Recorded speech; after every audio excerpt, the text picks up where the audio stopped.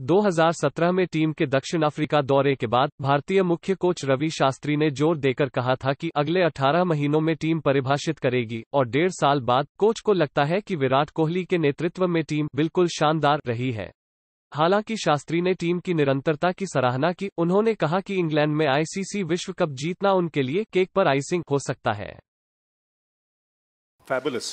Absolutely fabulous. Because if you look at sheer consistency, you know, across all formats, it's been uh, magnificent. You know, and we live and we learn.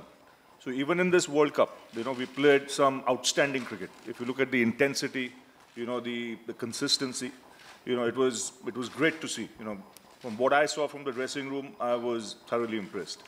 You live and you learn. You know, we will learn a lot from those 30 minutes, you know, on the second day against New Zealand.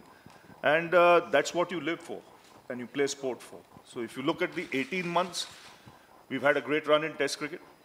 Okay, we've had a very, very good run in one-day cricket as well. I mean, you're in the top two.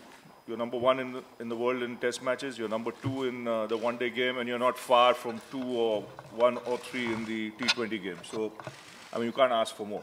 Yes, if you'd won the World Cup, that would have been the icing on the cake, but you can't take away nothing from the boys the way they performed in those 18 months.